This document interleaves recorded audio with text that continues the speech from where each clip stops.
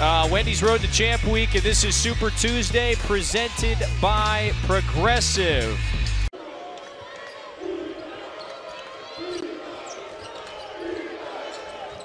Radford initiating, drives, finds the cutter, and Henry Coleman banks it in. So good movement away from the ball. Spins now gets bailed out by Radford.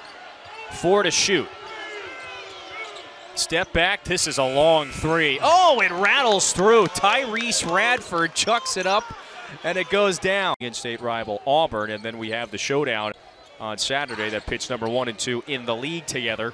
Close out the regular season. Taylor jumps the passing lane. You see what that double team of the pressure can do. Oh, Solomon Washington absorbs the contact and scores it. Radford slowing things down, starting to initiate the offense. Gordon, oh, nice feed to Marble, and the throwdown.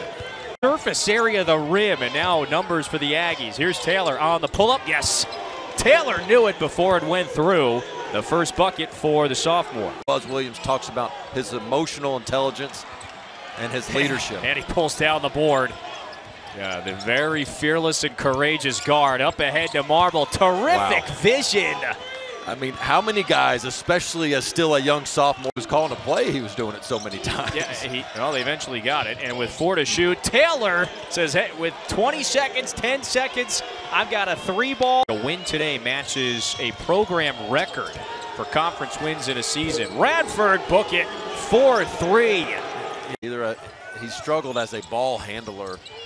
They tried to give him that slip there on the oh, out of bounds. Oh, man, that was a rejection that time from Washington. Field in the second half.